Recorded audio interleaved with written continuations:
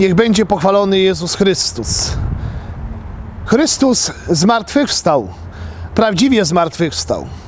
Aleluja!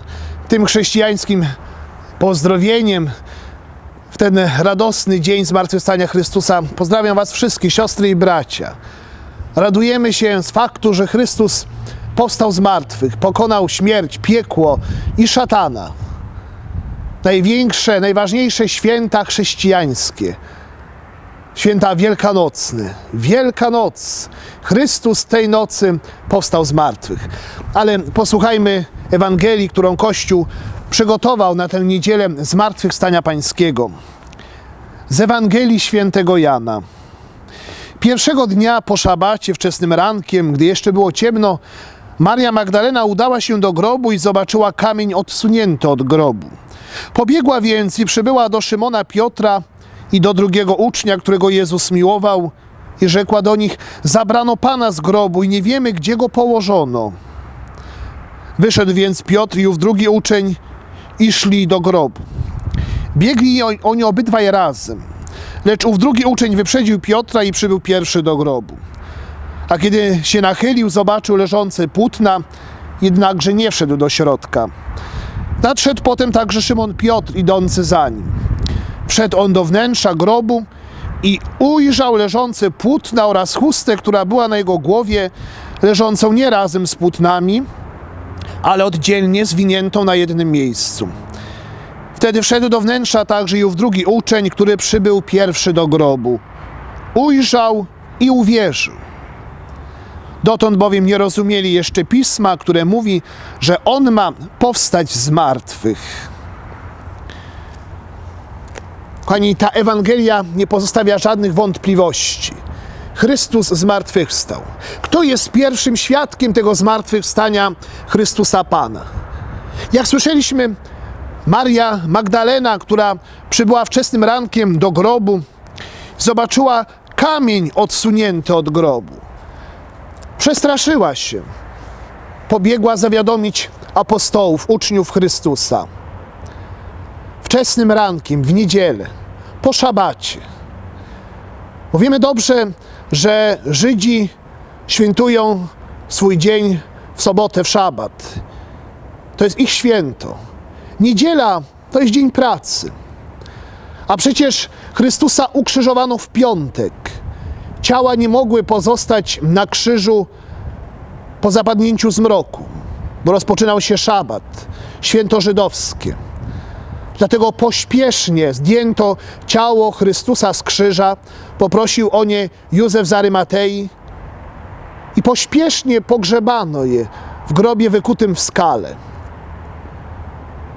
I Maria Magdalena, te dwie niewiasty, jak śpiewamy w pieśni, trzy Maryje poszły, drogie maści niosły, chciały Chrysta pomazać, cześć i chwałę Bogu dać. Chciały właśnie jeszcze namaścić ciało Chrystusa, chciały dopełnić obrzędów pogrzebowych zgodnie z żydowskim zwyczajem grzebania, bo nie zdążyli w piątek. I oto Maria Magdalena przychodzi i widzi kamień odsunięty od grobu. Pierwsza myśl. Ciało Chrystusa zostało wykradzione. Ktoś je zabrał.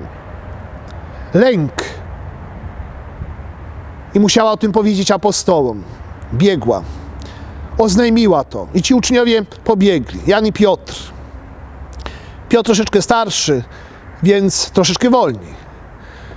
Ale obydwaj uczniowie weszli do grobu i zobaczyli pusty grób, te leżące płótna i chustę, która była na jego głowie, oddzielnie zwiniętą na jednym miejscu. I jak czytamy w Ewangelii dzisiejszej, ów drugi uczeń, który przybył pierwszy do grobu, wszedł za Szymonem Piotrem, ujrzał i uwierzył. On ujrzał i uwierzył, a my, siostry i bracia, czy widzimy?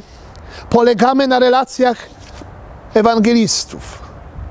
Ale jesteśmy przekonani, wierzymy mocno, że Chrystus zmartwychwstał. Nie widzieliśmy tego faktu. Tak naprawdę nikt tego nie widział. Jedynym świadkiem zmartwychwstania Chrystusa był całun, w który było zawinięte ciało Chrystusa Pana.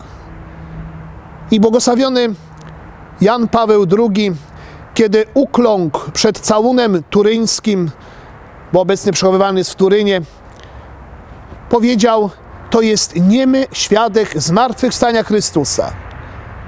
Niemy świadek, bo płótno nie przemówi do nas. Chociaż naukowcy badają i odkrywają co chwilę coś nowego. I wszystko wskazuje na to, że jest to prawdziwe płótno, w które było zawinięte ciało Chrystusa. To płótno widziało, myśmy nie widzieli, a wierzymy. Chrystus pokonał śmierć, piekło i szatana. Swoją własną mocą wychodzi z grobu.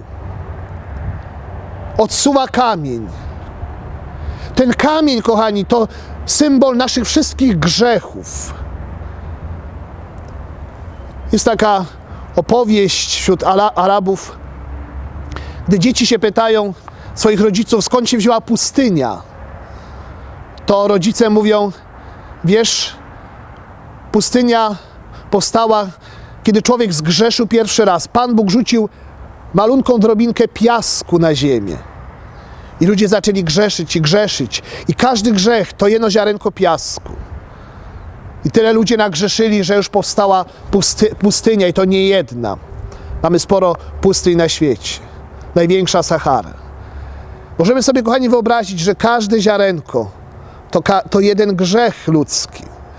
A gdyby zebrać te wszystkie grzechy, utworzyłby się ogromny głaz, kamień, który zakrywał wejście do grobu Chrystusa. Bo nas też nasze grzechy przytłaczają przyciskają. Nie możemy powstać nieraz pod ciężarem naszych grzechów. One są jak ten głaz na grobie Chrystusa. I co robi Chrystus poranek wielkanocny? Z martwych wstaje, dokonuje największego cudu. Przecież my też jesteśmy świadkami cudów Chrystusa, słuchając Jego świętej Ewangelii. Ileż to opisów cudów? Uzdrowienia, wskrzeszenia, wypędzanie złych duchów, ale największy cud to zmartwychwstanie Chrystusa. On odsunął kamień, zniszczył go, odsunął te grzechy i wyszedł z grobu. My też mamy wychodzić z grobu naszych grzechów. Chrystus swoim zmartwychwstaniem pokonał śmierć, pokonał piekło. Szatan jęczy, jęczy ze złości, że Chrystus go pokonał. Przecież miało się inaczej skończyć. Szatan inaczej to zaplanował. To on natknął serce Judasza, aby wydał mistrza, aby go zdradził. I ta kolejność, biczowanie, cierniem ukoronowanie, Chrystus miał się załamać. Już tam w ogrodzie oliwnym, kiedy pocił się krwawym potem. To wszystko było też zaplanowane przez złego ducha. W filmie, pięknym filmie Mela Gibsona Pasja jest to bardzo pięknie pokazany. Ten szatan, który się gdzieś pojawia w ogrodzie oliwnym, kiedy Chrystus modli się i poci się krwawym potem. I tam był szatan. I ten wąż symboliczny, którego Chrystus depcze w ogrodzie oliwnym, pokazuje: Nie, ja tu jestem Panem, ja tu rządzę. Chrystus pokonał właśnie tego szatana, pokonał śmierć, abyśmy my życie mieli swoim zmartwychwstaniem otworzył nam niebo. Krzyż to klucz do nieba. Więc siostry i bracia, cóż więcej, radujmy się z tego faktu, że Chrystus zmartwychwstał. Pozdrawiajmy się od dziś tym radosnym pozdrowieniem. Chrystus zmartwychwstał, prawdziwie zmartwychwstał. Aleluja.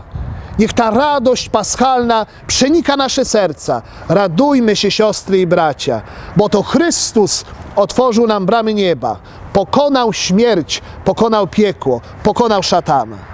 Radosnych, rodzinnych świąt wielkanocnych. Niech nam Chrystus zmartwychwstały błogosławi. Szczęść Wam Boże, drodzy siostry i bracia. Aleluja!